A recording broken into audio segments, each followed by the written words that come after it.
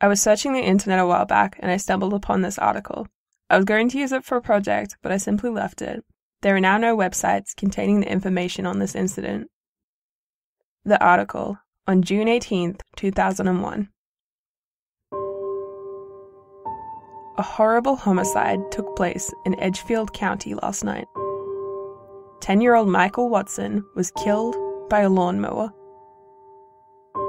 Watson was mowing the grass in his backyard last night when his body was discovered under the lawnmower, mangled beyond recognition.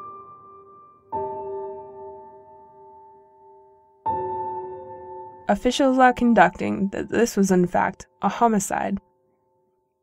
Investigators say that they found him with his hands and legs tied together while his head was fully lodged under the gas powered mower. Investigators also found that the lever to keep the mower running was tied to the handlebar.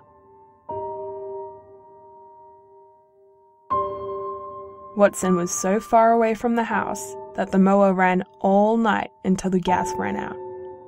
He was discovered in the morning by his parents when he wasn't in his bed. They found him on the edge of the woods on their property. A neighbor says she knows Watson's parents and knew Watson when he was very young. He was just as charming as he could be, said the neighbor. Most of the Edgefield County community has heard about this tragedy and they're continuing to pray for the family. It's a sad day in Edgefield County, and police are still restlessly trying to hunt and find the suspect, but as of now, they have no lead.